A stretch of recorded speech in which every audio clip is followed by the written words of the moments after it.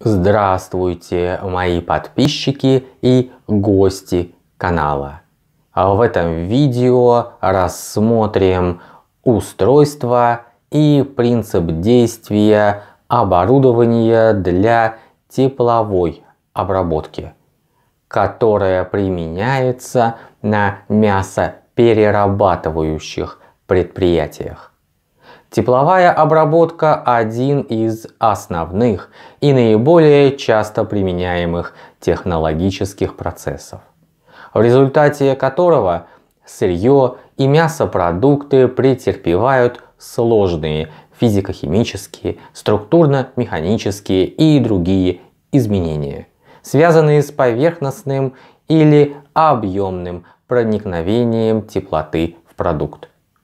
Цель тепловой обработки может быть различной.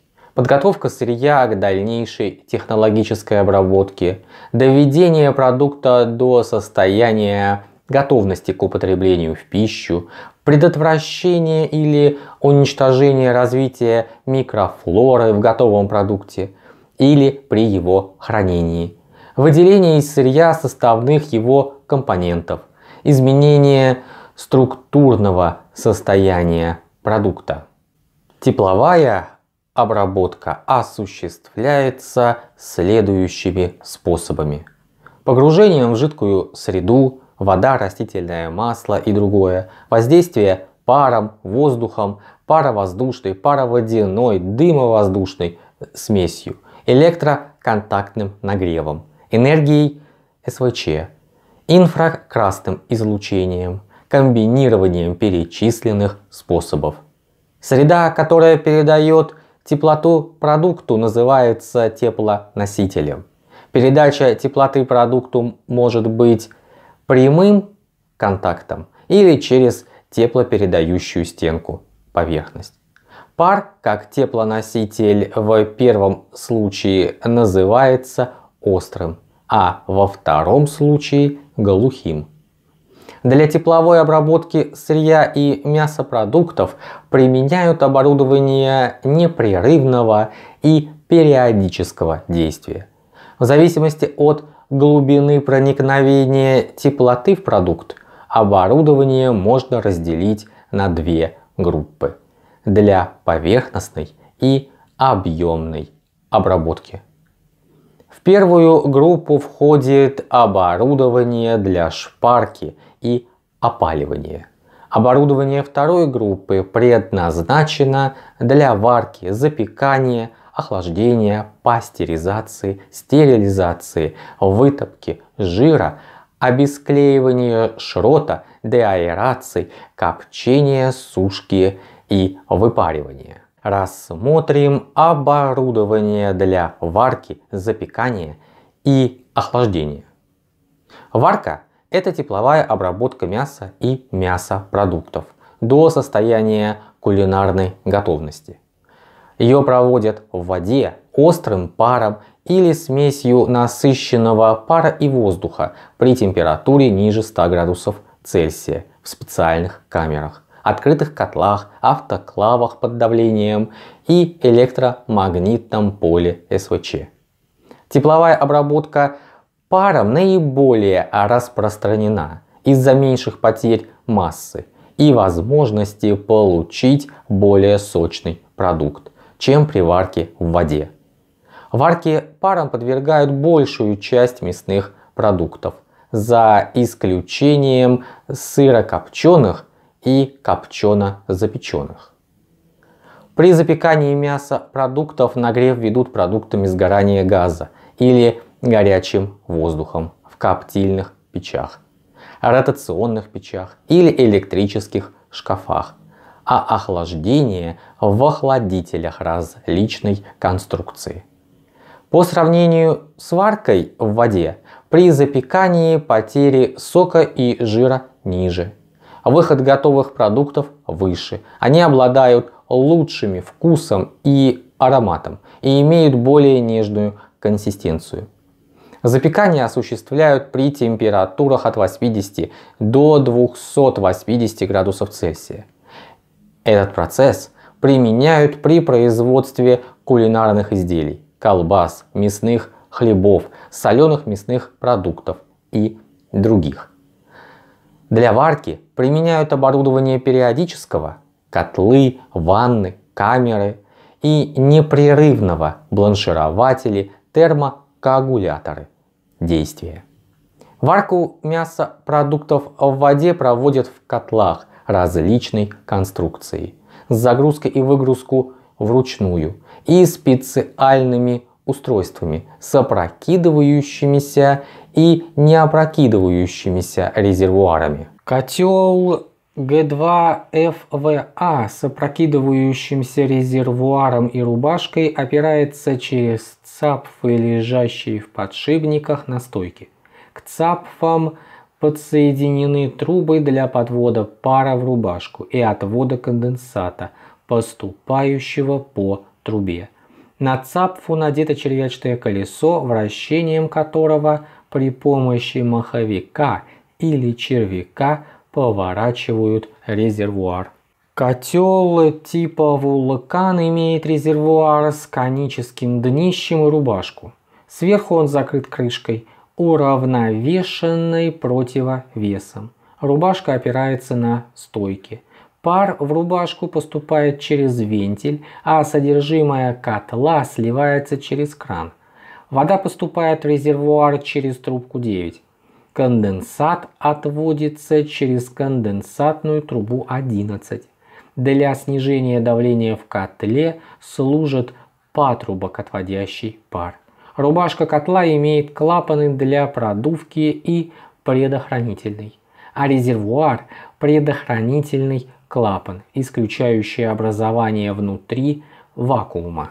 Котел К7 FV3E предназначен для варки и бланширования субпродуктов и варки окороков в двух корзинах из нержавеющей стали.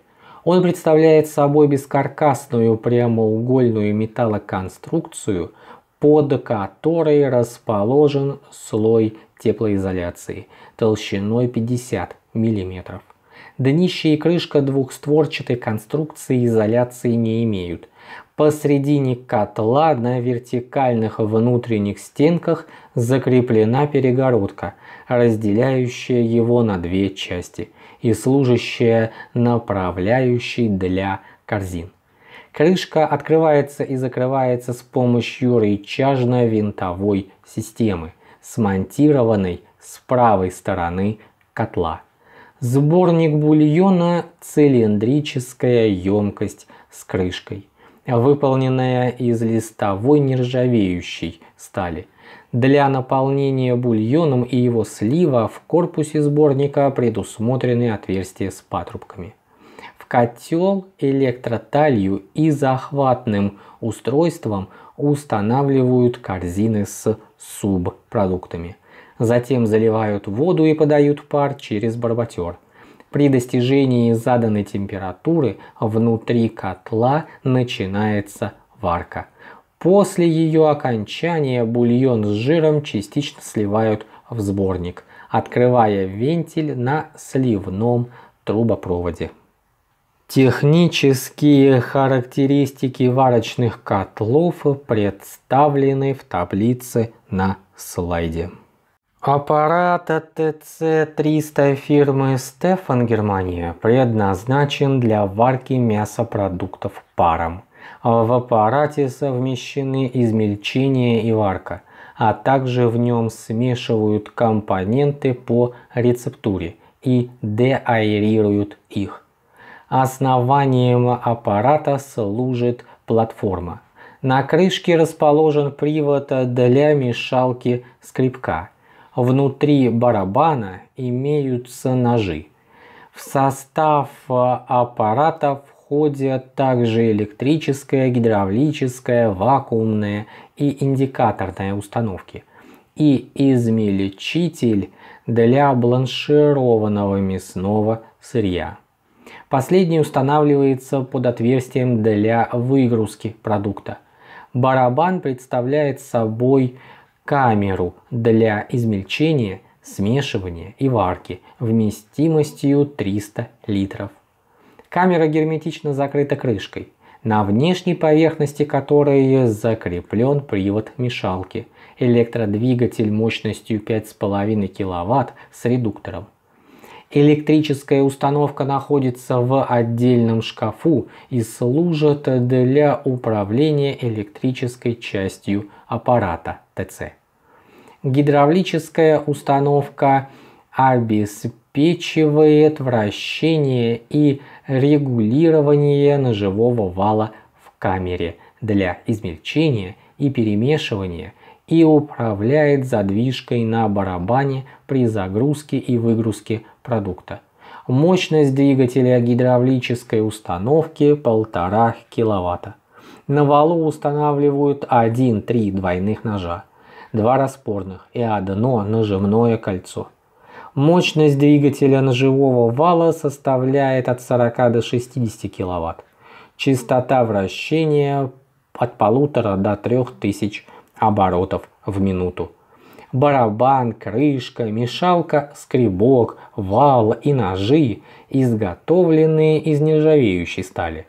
Скребок у мешалки выполнен из пластмассы. Вакуумная установка состоит из водокольцевого вакуум-насоса, двигателя мощностью 2,2 кВт, пневматического клапана вентиляции, вакуумного шланга, вакууметра, отделителя, сепаратора твердых веществ. Производительность вакуумной установки в барабане 55 кубометров час всасываемого воздуха. Продукт аппарат загружается подающим устройством с тележкой. Масса обрабатываемого сырья составляет 200 кг. Расход пара 19 кг на 1 кг обрабатываемого продукта. Общий цикл обработки сырья состоит из загрузки 40 секунд, перемешивания, предварительного измельчения, варки до полной готовности, откачивания воздуха 230 секунд, обработки в измельчителе от 150 до 420 секунд – производительность аппарата по измельченному сырью зависит э, от режима работы и свойств сырья и составляет от полутора до 5 тонн в час. Аналогичное устройство и принцип работы имеет аппарат V2 OPN. Его применяют в линии производства ливерных колбас. В аппарате непрерывного действия варят мясное сырье в кусках – оно представляет собой ванну с цилиндрическим днищем и крышкой. Внутри ванны вращается шнек, который перемещает в процессе варки куски мяса от места загрузки к месту выгрузки. Вращение шнека осуществляется при помощи электропривода. Ванна заполняется на 70% по высоте горячей водой которая подогревается острым паром, выходящим из барботера. Последний расположен в нижней части ванны. Ванна оборудована системой рециркуляции бульона. Режим варки контролируется терморегулятором и индикатором температуры. Добавление свежей воды и удаление бульона из ванны должны быть отрегулированы таким образом, чтобы концентрация сухих веществ в бульоне составляла от 2 до 2,5%. Это особенно важно при производстве консервов для детского питания. Вареное мясное сырье после стекания бульона направляют на дальнейшую обработку. Термокоагулятор Я6 ФПК применяют для непрерывной тепловой обработки фаршевых мясопродуктов. Он состоит из цилиндрического корпуса с патрубком для подачи продукта и лотком для выгрузки продукта, а также патрубками для подачи пара, которые расположены на наружной поверхности корпуса в несколько рядов и соединены между собой паропроводным коллектором. В корпусе концентрично размещен шнек с прорезями в его винтовой поверхности, в которые вставлены форсунки. Термокоагулятор работает следующим образом. Фарш подается насосом через патрубок 2 в корпус и перемещается шнеком в сторону выгрузки. Острый пар, подаваемый в коллектор и распределяемый по форсункам, поступает непосредственно в продукт. Конденсируясь, пар нагревает сырье, причем нагрев происходит по всему объему продукта. Одновременно осуществляется процесс перемешивания. Кроме того, форсунки препятствуют вращению продукта вместе со шнеком. Установка форсунок с определенной ориентацией парораспределительных отверстий позволяет избегать попадания в них продукта и обеспечивать его равномерный прогрев. Большая поверхность контакта вследствие дробления продукта в зоне форсунки и подача пара непосредственно в продукт способствует интенсификации теплообменного процесса. Техническая характеристика термокоагулятора представлена на слайде. Котел вакуумный КВМ 4,6М. Применяют для производства сухих животных кормов и технического жира, варки, стерилизации и обезвоживания. Сварная рама является основанием для установки корпуса с мешалкой и привода. Корпус представляет собой цилиндрический горизонтально установленный сосуд с рубашкой. В верхней части корпуса имеется патрубок 3 с фланцем, к которому крепится загрузочная горловина. В верхней части рубашки корпуса котла вварены два патрубка 5 для подвода пара, трубка для выпуска воздуха, штуцеры для подсоединения предохранительного клапана. Внутри корпуса монтируется перемешивающий механизм, состоящий из вала с закрепленными на нем лопастями. Перемешивающий механизм приводится в действие электродвигателем через упругую муфту, цилиндрический двухступенчатый редуктор и уравнительную муфту. Лопасти мешалки выполнены так, что при вращении вала против хода часовой стрелки со стороны загрузочной горловины масса в котле только перемешивается а при вращении по ходу часовой стрелки перемещается в сторону разгрузочной горловины. Частота вращения вала мешалки равна 0,7 секунды в минус 1. Привод механизма выпуска жира осуществляется от электродвигателя через муфту, редуктор, кривошип и рычаг. Механизм в действие включается периодически по мере заполнения выпускного отверстия. Загрузочная горловина состоит из цилиндрической обечайки с фланцами и крышки с запорным бигелем. Механизм слива бульона включает в себя пробковый кран, иглы, редуктор и электродвигатель. Редуктор и электродвигатели закреплены на подвижной раме. В нижней части сосуда приварены патрубки 9 и 10 для отвода конденсата. Аналогичное устройство имеет и котел вакуумный горизонтальный G4 FPA. Технические характеристики вакуумных котлов представлены на слайде. Печь ротационная К7ФП2Г предназначена для запекания мясных хлебов, буженины, карбонада и других изделий без оболочки, стерилизации условно годного мяса. Она представляет собой термоизолированную цилиндрическую камеру, закрепленную на опоре. Стенки камеры трехслойные. Два внешних слоя – это облицовка из нержавеющей стали, а внутренний – теплоизоляция. В камере имеется проход для загрузки и выгрузки продукции с подъемной дверцей с противовесом и проход с отражателем для подачи горячего воздуха, получаемого при сгорании в горелках. Продукт подают на люльки ротора, диски которого установлены на валу и соединены между собой стержнями, несущими люльки. Электродвигатель и редуктор смонтированы на стойке, прикрепленный к каркасу печи. Газы покидают рабочую зону через трубу с задвижкой. Печь относят к установкам периодического действия. Процессы подсушки, обжарки и варки мясопродуктов осуществляются один за другим.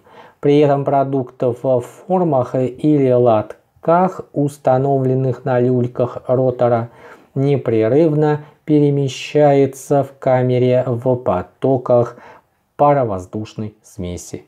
Из камеры воздуха по отсасывающим воздуховодам поступает в коллектор, откуда вентилятором засасывается и направляется на нагревательные элементы, а затем по промежуточному воздуховоду в центральный распределительный воздуховод – и дальше к продукту. Для увлажнения среды используют острый пар. Техническая характеристика ротационной печи вы видите на слайде. Охладитель дозатора 7FLV-3 применяют для охлаждения и дозирования кровяной сыворотки, пищевого рассола и воды – Охладитель состоит из бака, внутри которого установлены по две секции аммиачного испарителя, распределителя аммиака, сборника аммиака и масла собирателя. Геометрическая вместимость бака составляет 55 сотых кубометра. Дозировочное устройство состоит из насоса-дозатора, установленного внутри сварного каркаса. Охладитель и щит управления смонтированы на раме, а дозировочное устройство устанавливается на каркасе. Расход хладоносителя для охлаждения кровяной сыворотки равен 0,2 кубометра в час. Установленная мощность электродвигателей, насоса-дозатора и мешалки в сумме составляет 1,5 кВт.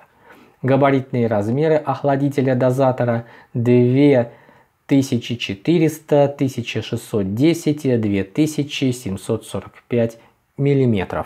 Охладитель жира D5FOP представляет собой теплообменный агрегат – состоящий из двух теплообменников, смонтированных на станине, привода, трубопроводов с арматурой, хладоносителя, разливного трубопровода. В качестве хладоносителя применяют воду и рассол. Из жиросборной емкости по цеховому трубопроводу. Жир поступает к насосу, приводимому в действие от электродвигателя – с помощью клиноременной передачи. И через трубопровод направляется последовательно в первый, а затем во второй теплообменнике. Теплообменники состоят из цилиндров изоляции и охлаждения, вытеснительных барабанов и торцов крышек. Радиальный зазор между цилиндрами – винтовой канал прямоугольного сечения, равного сечению трубопровода хладоносителя.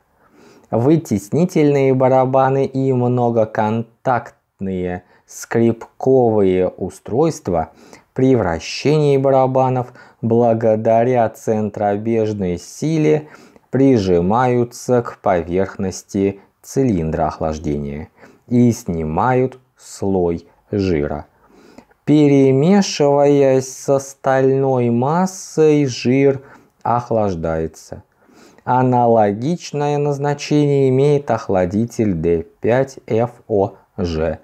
Технические характеристики представлены на слайде. Охладитель К7 ФКЕ8 применяют при производстве сухих животных кормов. Он представляет собой сварной корпус, внутри которого в подшипниках скольжения вращается вал со шнеком. Корпус имеет загрузочный и разгрузочные бункера – Привод шнекового вала осуществляется от электродвигателя через клиноременную передачу, редуктор и муфту. Частота вращения шнека 5 сотых оборота в секунду. Его размеры составляют наружный диаметр 352 мм, диаметр трубы 299, шаг шнека 65 и высота витка 26 с половиной миллиметров.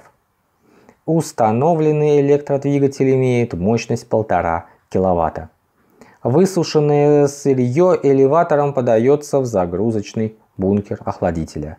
Сырье захватывается шнеком и транспортируется вдоль аппарата до загрузочного бункера. Одновременно с транспортированием продукта частично перемешивается – и охлаждается до 30-40 градусов Цельсия. Производительность охладителя по сырью равна 500 кг в час. Его габаритные размеры при массе 2493 кг составляют 6595 на 1400 на 2800 мм. Кроме получения пищевых жиров, оборудование для охлаждения используют в производстве желатина и колбасных изделий. Желатинизатор представляет собой охлаждающий барабан. Корпус желатинизатора выполнен из высококачественной стали – Наружная поверхность тонко отшлифована, а внутренняя имеет черное двухслойное покрытие. Барабан желатинизатора заполняют циркулирующим рассолом через сквозной вал, приспособленный для заполнения и отвода рассола температуры минус 5 градусов Цельсия. Температура бульона не должна превышать 45 градусов Цельсия. Только при достижении этих значений желатиновый бульон подают в приемник желатинизатора до определенного уровня, который зависит от концентрации бульона и прочности галерты, пленки снимаемого студня. Барабан желатинизатора наружной поверхностью захватывает слой бульона и при вращении желатинизирует его на холодной поверхности. Диаметр барабана при длине 700 мм равен 1600 мм. На другом конце барабана расположен валик, который отделяет слой галерты от барабана. Расход рассола составляет 2,3 кубометра в час. Рабочее давление в рассольной системе равно 0,05 мегапаскаль. Толщину снимаемой галерты регулируют на 2-3 мм. При увеличении толщины пленки необходимо снизить уровень бульона в приемнике и повысить температуру бульона до 45 50 градусов Цельсия. Производительность желатинизатора при частоте вращения барабана 8 десятых секунды в минус 1 составляет 500 килограмм в час. Производительность желатинизатора при частоте вращения барабана 8 десятых оборотов в секунду составляет 500 килограмм в час. Благодарю вас за внимание. Поставьте лайк, поделитесь этим видео в социальных сетях и мессенджерах, подпишитесь на мой канал. Желаю вам всяческих успехов и до новых встреч!